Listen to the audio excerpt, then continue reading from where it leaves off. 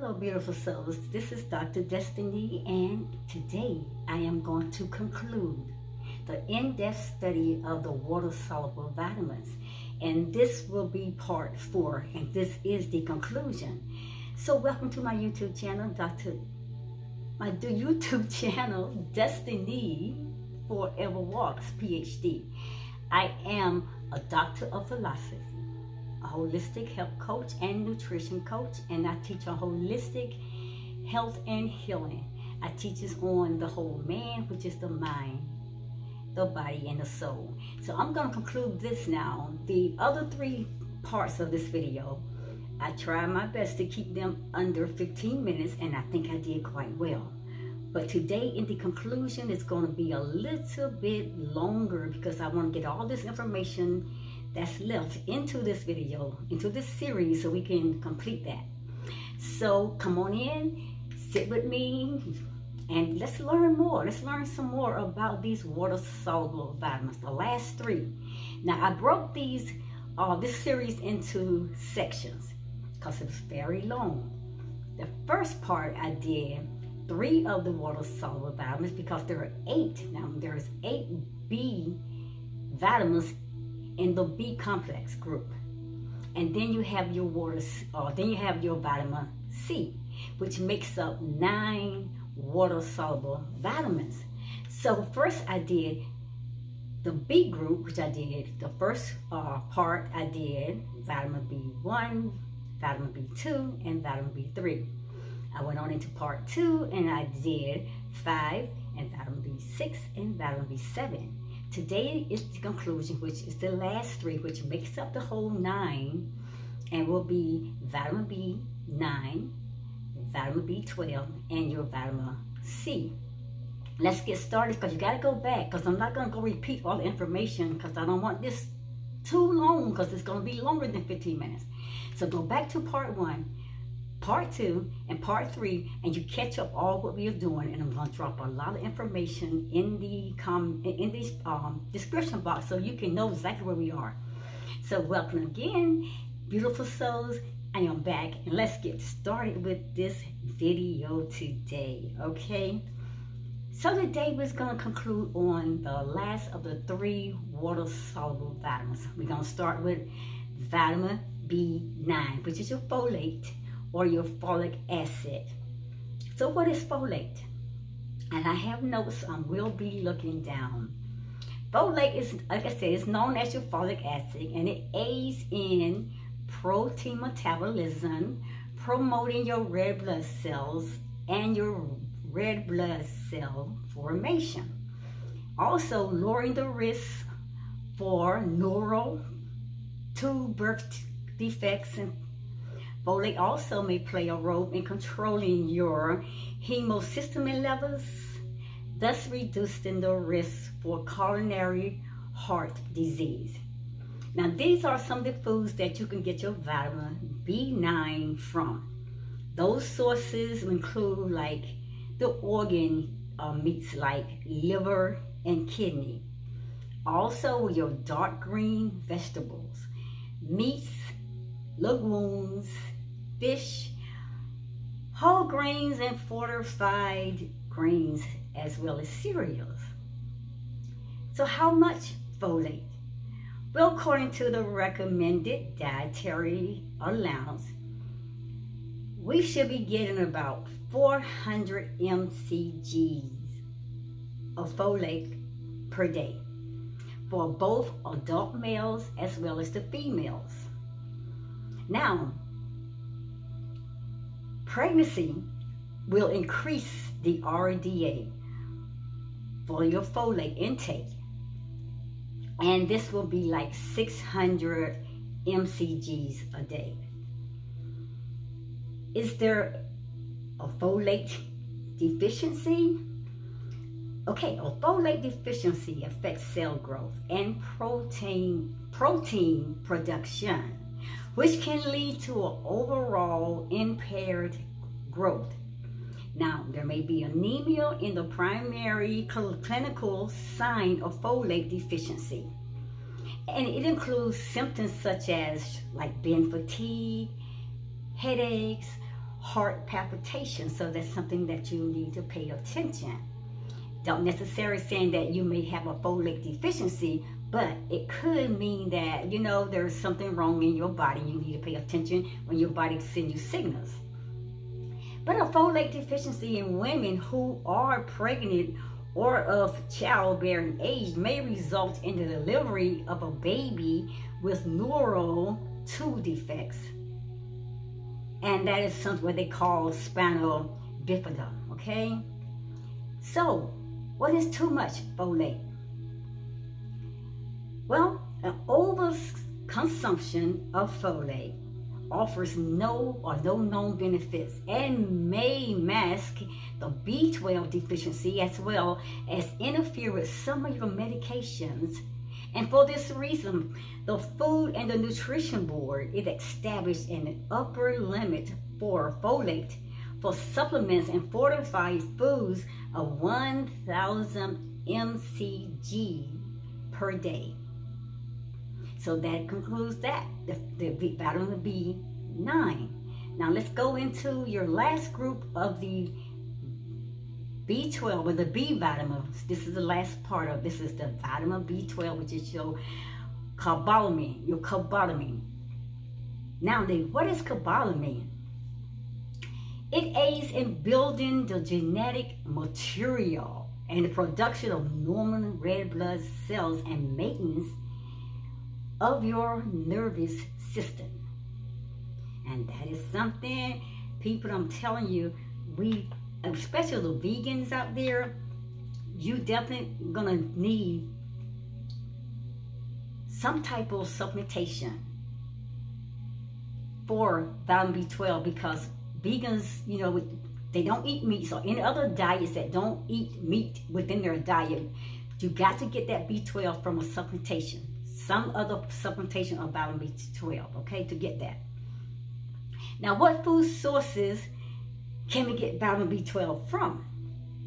Now, vitamin B12 is found naturally in foods of animals' origin, such as I said, your meats, your organ meats like your liver, your kidney. Also, you can get it out of fish, eggs, your milk products, you know, butters and eggs and things of that nature, oysters and shells, seashells, all the shellfish. And some fortified foods such as your uh, breakfast cereals and nutritional yeast. It may also contain your vitamin B12, which the people that don't eat meat need to check that out because you need to get vitamin B12 in your diet. So how much vitamin B12 is recommended by the uh, Dietary Allowance? Now for vitamin B12, it is 2.4 mcgs per day for both adult males and females.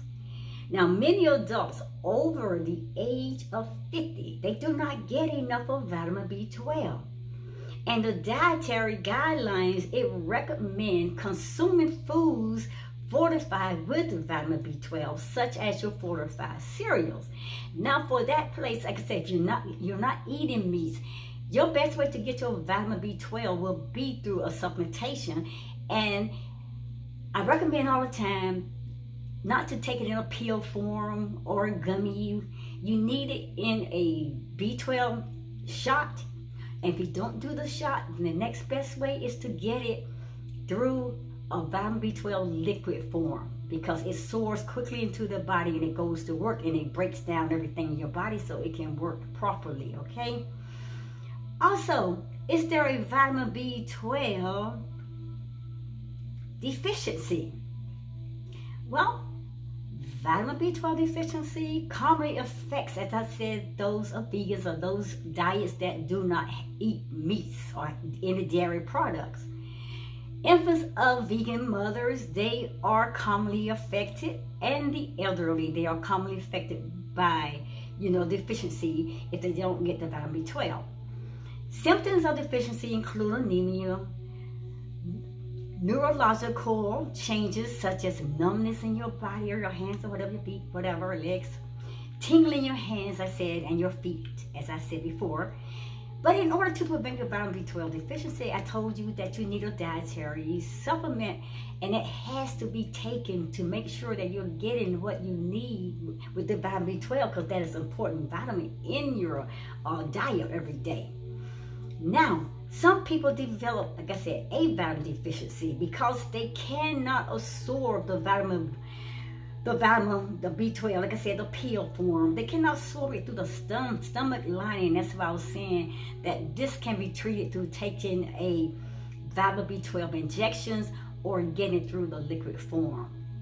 Is there too much of a vitamin B12? No problems because there is no overconsumption that has been known by um, taking your vitamin B12 supplements. So that will be no problem with overconsumption, okay, when it comes to your vitamin B12. Now the last of the water-soluble vitamins, because I'm talking about the in-depth study of the water-soluble vitamins. And we went through all that, part one, part two, part three today. We are concluding with part four of this series, talking about the water-soluble vitamins. There is eight water-soluble vitamins in your B vitamin group. And then there is still vitamin C. So we already now have gone over all eight of the B complex group of your water soluble vitamins. And the last on this list will be your vitamin C. Vitamin C is in that group of water soluble vitamins. So let's get this information to you. Your vitamin C is known as ascorbic acid. Well, what is your vitamin C? The vitamin is something, your vitamin C is what your body needs to, to remain in proper working condition. Vitamin C benefits the body by holding the cells together through collagen synthesis. And collagen is a connected tissue that holds your muscles, your bones, and your other tissues together.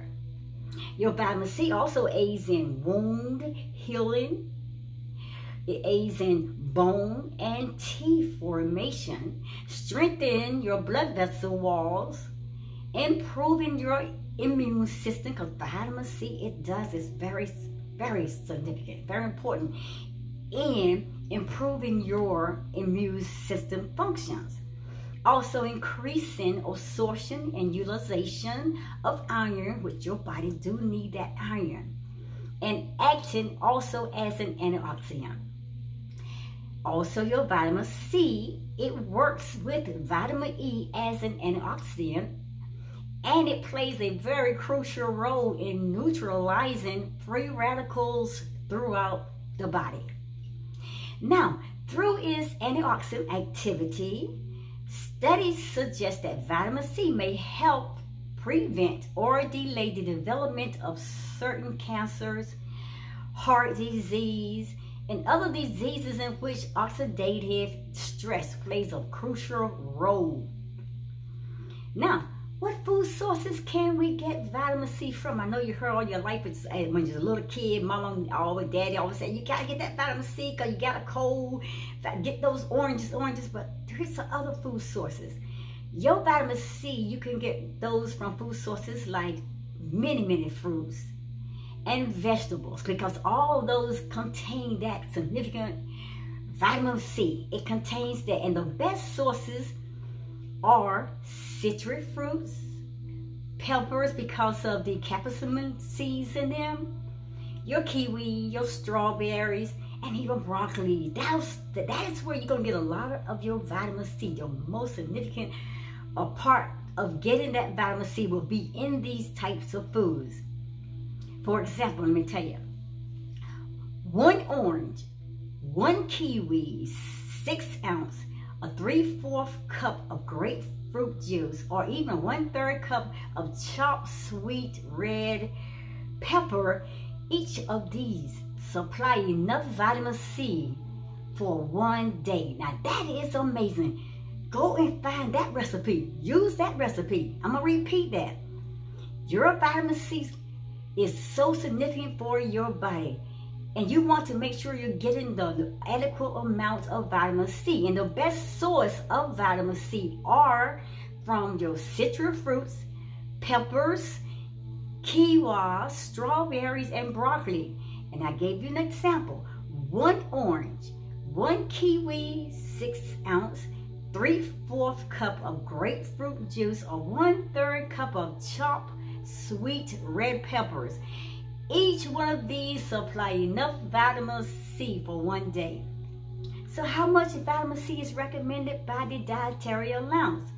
Well, vitamin C is the recommended the recommendative requirement will be 90 milligrams a day for both adults as well as your females and 75% well let me repeat that again. Your vitamin C recommend uh, allowance is 90 milligrams a day for the adult males that, that is my correction but it's only 75% milligrams for the adult females.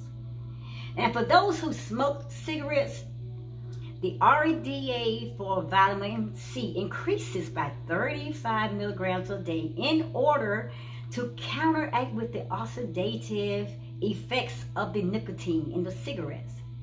Vitamin C recommendation also increase during their pregnancy and lactation. Okay? Is there a vitamin D deficient that is known?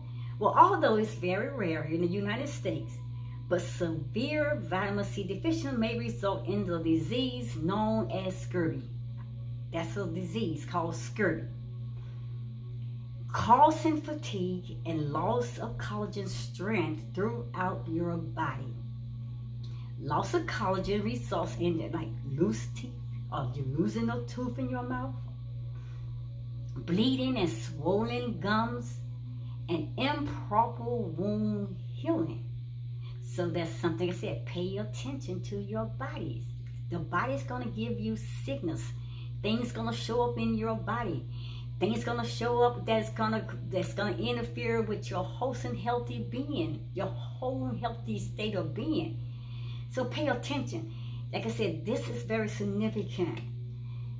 And let me give you the last thing I want to say. The following conditions have been shown to increase vitamin C requirements. And this is something I want you to pay attention. The following conditions have been shown to increase vitamin C requirements, and they are one, environmental stress such as air and noise pollution, two, tissue healing of wounds, number three, growth, children from 0 to 12 months and pregnant women, number four, fever and infection. And the fifth one is smoking. Now, these are the following conditions that have been shown to increase vitamin C requirements.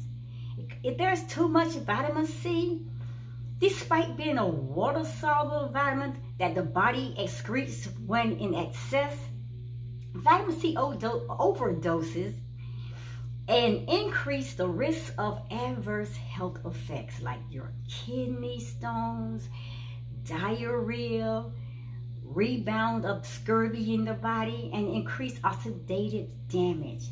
And for this reason, that's why the Food and Nutrition Board has established an upper limit of 2,000 milligrams a day.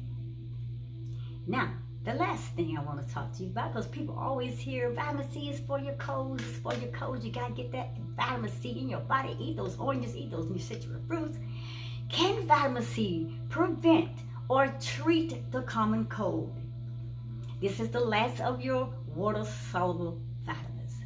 Those nine water-soluble vitamins. And the last one I'm talking on now, concluding this series, is your vitamin C. Can vitamin C prevent or treat the common cold? The controversial overusing mega doses of vitamin C to prevent or to treat the common cold and other infections, it remains a very popular topic still as today. Vitamin C appears to have the ability, though, to enhance various immune cell functions However, the, pre the precise dose and the ideal timing of vitamin C intake has been fully elucidated. And the overall, the evidence suggests that the adequate dietary vitamin C intake and possibly higher intake of, at plasma saturating levels of 100 to 200 milligrams per day. It may help people. It may help the common cold by optimizing the cell and the cell tissues in your body, your tissue cells as well.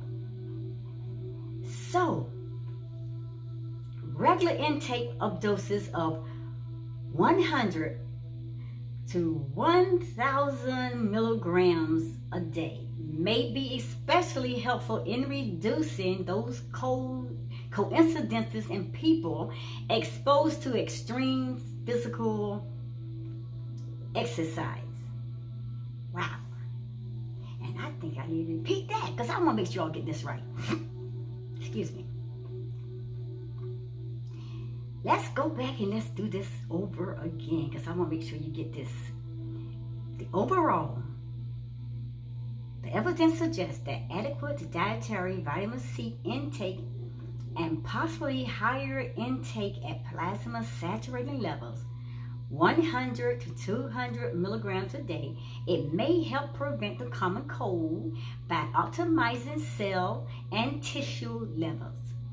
The regular intake of doses of 200 to 1,000 milligrams per day may be especially helpful in reducing cold incidents in people exposed to extreme physical exercise or even the cold environment, and those with marginal vitamin C status, such as the elderly, as well as those chronic smokers. Now, among the general population, though, the vitamin C intake at doses of 200 milligrams a day or more is moderately effective in improving the severity and the duration of the common cold. Now, in terms of treatment of established infections, some evidence indicated significantly higher doses and grams that may be beneficial in the recovery process by ameliorating the decline in leukocyte, which is your vitamin C levels. And but however though, research still needs to address safety concerns in taking overdoses of vitamin C to make sure that you're getting the proper amount that you need for your body without causing more effect in your body. Now, furthermore, this effect appears to have the most benefit on those who are very low in vitamin C levels. So make sure that you consult with your dietary or uh, uh, healthcare provider, your medical doctor, uh, your health professional, your medical professional, whoever that is that knows about what you need for your body. You need to be consulting those people. A health practitioner, a nutritional uh, a coach, someone that knows. Because we don't want to just say, okay, I'll take this and this will be enough or this will be, no, we may be taking too much or we may be not taking enough. So my people, that concludes the water soluble vitamins. Again, I said this has been an awesome series. I am up to 23 minutes in this series right now. And I'm concluding today. Go back. There is a series of the, on the in-depth study of the water soluble vitamins. As I said, eight of these water soluble vitamins come out your B complex group. And the other one, which makes up the nine, is your vitamin C. I did them all. There's a part one, a part two, part three, and today I am concluding part four. I hope this series has been very helpful, has given you all the knowledge and stuff that you can get started to learning more so that you can get the information that you need so you can start taking care of your health, taking care of your body, and providing yourself with the proper nutrition that you need. Like I said, you can get through supplementations and vitamins and things like that, but your best way to get your nutritious, healthy diet is to eating those proper eat the green vegetables and fruits. Get it through eating the proper healthy foods. I conclude this and I'll see you guys at the next video, the next message, the next series, whatever that the Creator may be bringing. Comment, comment, comment, comment, share, share, share. You to share your experiences. Share things that you may have gone through with some of these vitamins that you have. What do you know about the water soluble vitamins? Are you experiencing some of these issues and things? Do you know more about that you can share with us? But I also recommend people, most important thing, you do your own research, your own study. Get out there and start searching because information is out there. It's flooded out there online. Then can always remember, go to the higher, greater power, of the universe, the creator of this universe, because he knows all, because he put everything out there. It's out there in nature, people. He created a healthy, wholesome diet in Genesis chapter 1, verse 29. I am concluding this series, and I love you, beautiful souls, and I'm going to see you at the next video. Namaste, my lovely people. Thank you. Don't forget to share information. Share information, things that you may know, or things that you don't understand, or things that you need more uh, revelation on, clarification. I'm here. I'm your doctor of philosophy. I'm your doctor of holistic health and nutrition. I can help you with that. Dr. Destiny signing off till I see you all beautiful people again. Remember, there's a part one, a part two, a part three, and today I concluded with this part four. We got to go back and get all of those parts of those, this series of the in-depth in study of the water soluble vitamins to get it all. Namaste.